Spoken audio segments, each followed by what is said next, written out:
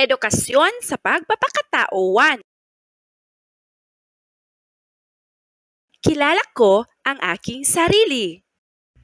Ang bawat bata ay may sariling nais, hilig at gusto. Mayroong gusto ng sports gaya ng karate. Mayroong gustong kumanta at tumugtog ng mga instrumento.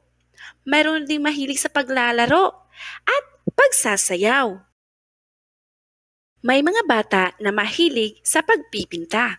Pinipinta nila kung anuman ang nakikita nila sa kanilang paligid. Nasisiyahan sila kapag sila ay nagpipinta. May mga bata din na mahilig sa paggawa ng mga video o vlog. Mahilig silang manood ng mga video sa YouTube at sila ay nagso-subscribe, nagla-like, nag instagram pa. Mahilig din ang ilan sa TikTok. At minsan nga, nag-Facebook pa. Ang mga batang katulad ninyo na nag-aaral ay palaging gumagawa ng mga bagay na ginagawa sa paaralan, gaya ng pagsusulat, pagguhit, at pagkukulay. Ilan sa mga halimbawa ng mga bagay na nais, gusto, at mahiling na gawin ng mga batang katulad mo.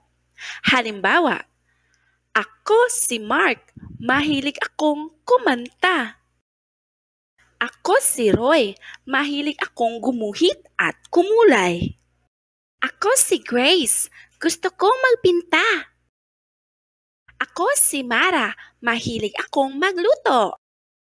Ikaw, kilala mo ba ang iyong sarili? Kung oo, sabihin opo. Kung hindi, sabihin hindi pa po. Ikaw, ano ang kaya mong gawin? Halimbawa, ako, kaya kong kumain. Ano-ano ang iyong gusto, hilig o talento? Halimbawa, mahilig akong mamasyal at maglaro. Sagutin natin ang mga sumusunod. Halimbawa, ako muna. Ako si Teacher Rosal. Ako ay anim na taong gulang. Ang hilig o gusto kong gawin ay kumain. Tandaan, bawat bata ay may sariling interes, kakayahan, talento, at damdamin. Mahalagang malaman ang mga ito upang makilala mo ang iyong sarili. Anumang talento na mayroon ka ay dapat mo itong ipakita para mapasaya ang iyong kapwa.